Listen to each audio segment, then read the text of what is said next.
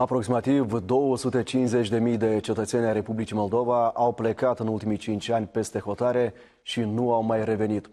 Este una dintre cifrele de la care au pornit discuțiile la Chișinău în cadrul unui forum de două zile privind migrația tinerilor și, drept consecință, îmbătrânirea populației. Printre invitați sunt sociologi, experți internaționali și reprezentanții ai autorităților publice locale.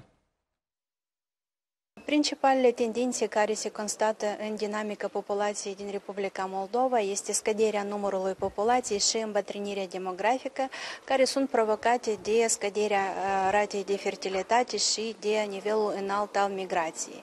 Acesta înseamnă că în deceniile viitoare structura populației se va schimba semnificativ. Migrația populației se face simțită în mai toate localitățile, afirmă primarii. Aceștia spun că au nevoie de resurse pentru a atrage populația populația în mediul rural. Este important să ajungem și la componenta de resurse.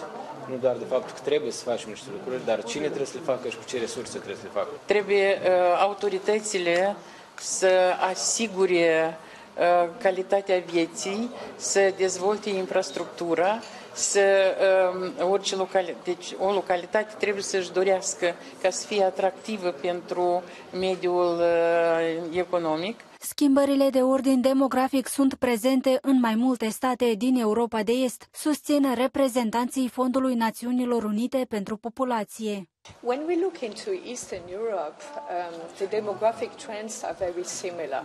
and that is combination of uh, fertility rate going down, of outmigration of young people, and of populations getting older. So we do see this happening in many of these countries. Conferința internațională Guvernarea bazată pe date pentru politici publice eficiente are drept scop de a consolida capacitatea Republicii Moldova și a altor țări din regiune pentru un răspuns eficient la provocările demografice, pentru un dialog constructiv între toți factorii de decizie și pentru un schimb de experiență.